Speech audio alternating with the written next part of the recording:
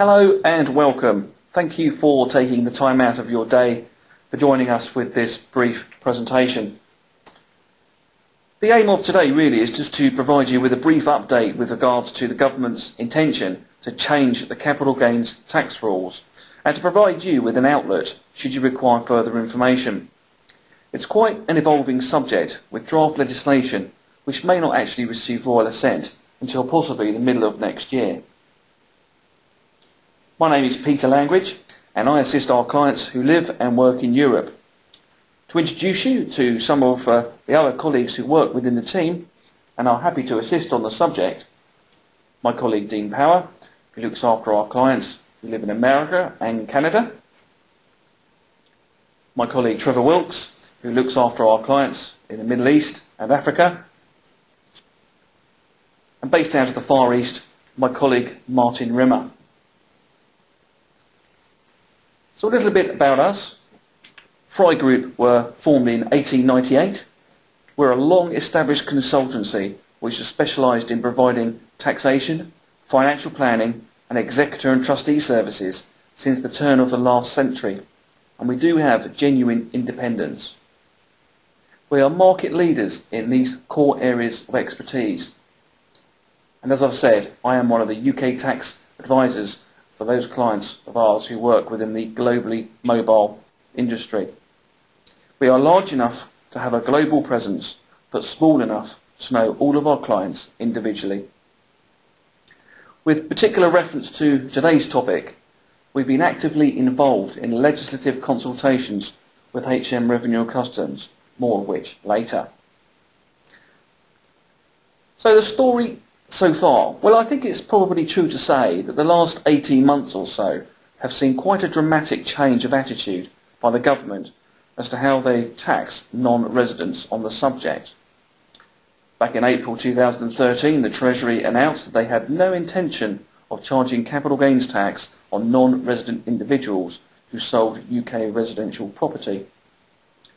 In the autumn statement 2013, George Osborne stood up and he said, from April 2015, we will introduce capital gains tax on future gains made by non-residents who sell a residential property here in the UK. That's just eight months after the initial notification by the Treasury. That was then followed up 28th of March 2014 with a consultation which lasted about three months and that's just reaffirmed that this charge will come into effect in April 2015 and apply only to gains arising from that date. And lastly, and most recently, 27th of November 2014, once again we have the reaffirmation by the Treasury who mentioned that by extending CGT charge to non-residents disposing of UK residential property, we are bringing the UK into line with many other countries. So what does the current legislation actually say? Well, simply speaking, non-residents can be exempt from capital gains tax. Of course, it is very much dependent on the length of the time an individual spends outside of the UK and actually the statutory residence test that came into effect on the 6th of April 2013 has a key part to play here. It does actually apply to all assets, excluding those of a UK trade. By that, I mean if you owned a farmhouse and you disposed of property on the farm, that could be construed as a trading asset and thus not fall within this remit. But for today's purposes we are talking about residential property in the UK which can certainly currently be exempt depending on your individual circumstances. From the 6th of April 2015, capital gains tax charge will apply to the disposal of UK residential property. What is residential property? Well, common sense really. It's use uh, or suitable to be used for a dwelling. Does include property that's being constructed or adapted for such use.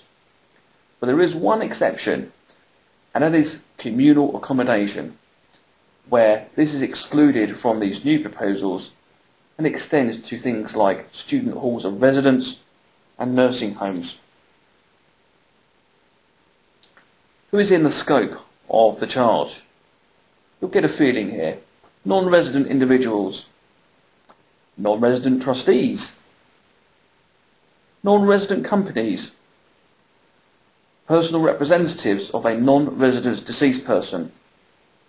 Of course, you've guessed it, if you're non-resident, you are likely to be within the scope of the charge.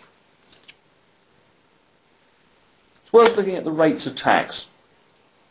For individuals, the rates of tax are going to be 18 or 28%, depending on the amount of UK income, possibly even a combination of the both.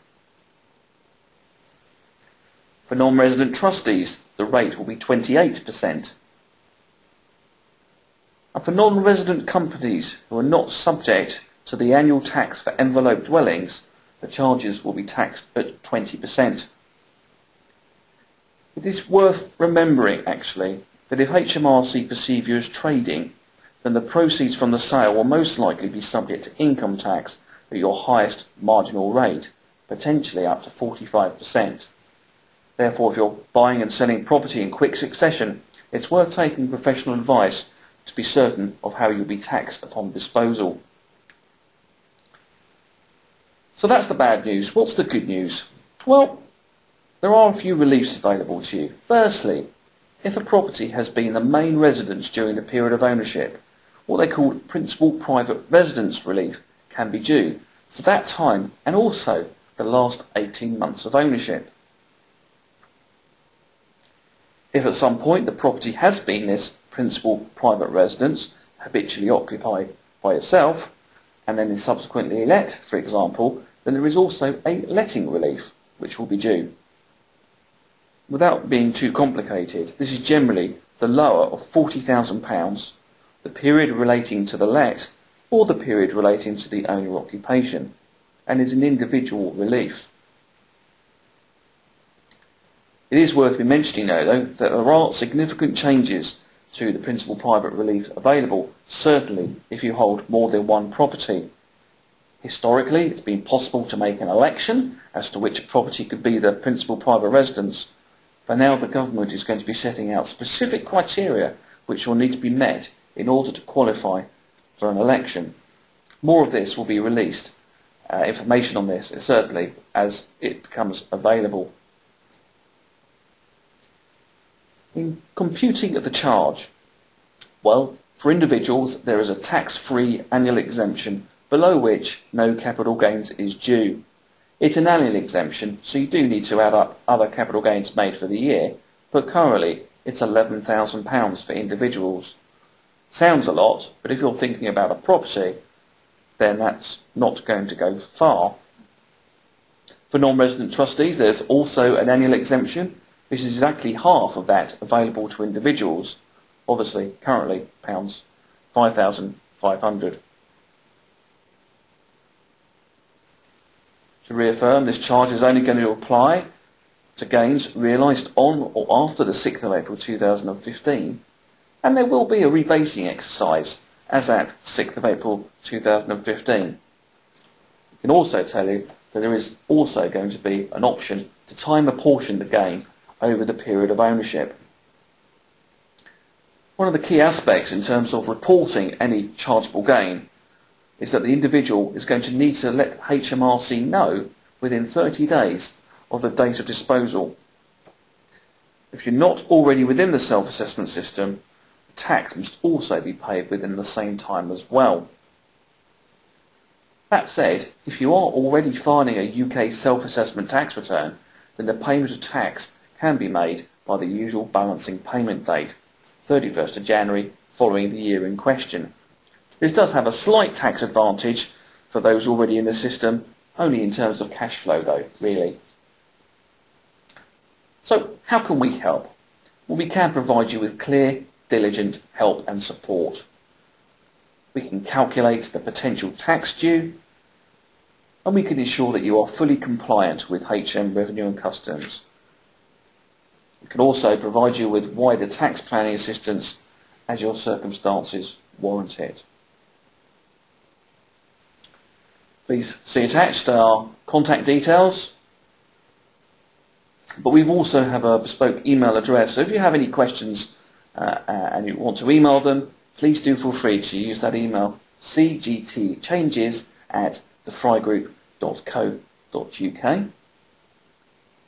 For regulatory information, just going back to those contact details again. Thank you ever so much for listening and I hope you found that interesting.